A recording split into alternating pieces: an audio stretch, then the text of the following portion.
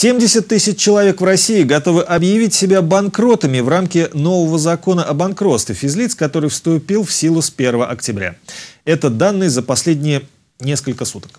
Меньше, чем предполагали эксперты, но, полагаю, еще не вечер. Специалисты же уверены, что большого наплыва банкротств не будет. Многих остановит получение самого статуса банкрота, а многих ограничения в получении будущих кредитов.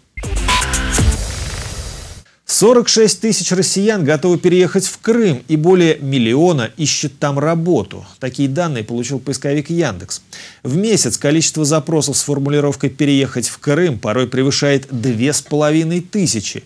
До присоединения полуострова их было в 10 раз меньше. Более 90% запросов приходит от россиян, при этом 17% из московского региона.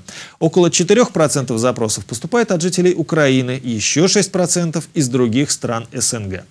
На форумах желающие переехать отмечают, что уровень зарплат в Крыму несколько ниже, чем в среднем по России.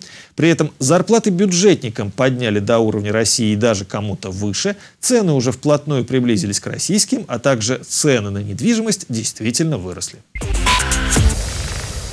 Трансайра потянет за собой более тысячи региональных туроператоров. Все потому, что Аэрофлот, взявший на себя разбор ситуации с перевозками, не досчитался билетов туристов компании «Библиоглобус».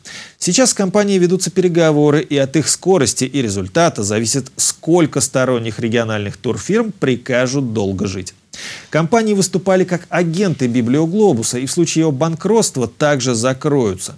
Ситуацию может усложнить и быстрый процесс банкротства Трансайра. Эксперты надеются, что процесс будет происходить более плавно и продуманно. В этом случае у рынка есть шанс адаптироваться. Между тем, ситуацию с Библиоглобусом и Трансайра держит на заметке агентство Турпомощь.